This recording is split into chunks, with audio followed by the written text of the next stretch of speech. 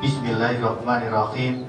Ya Andri Sumantri bin Raden Mas Suro Rujitono, saya nikahkan dan kawinkan Rohani binti Hanafi kepada engkau dengan wali kakak kandungnya Saifi Ahmad yang telah mewakilkan kepada saya dengan diberi mas kawin seperangkat alat sholat dan uang sebesar 120.116 rupiah dibayar tunai. Saya terima nikah dan kawinnya Rohani binti Bapak Hanafi sah dan halal untuk diri saya sendiri dengan mas kawin tersebut. Tadi Barakallah.